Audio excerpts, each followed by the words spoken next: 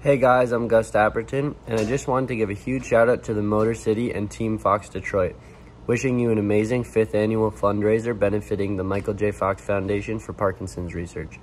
Your dedication, care, and energy doesn't go unnoticed by the PD community. Have a very fun and green e-gala this year.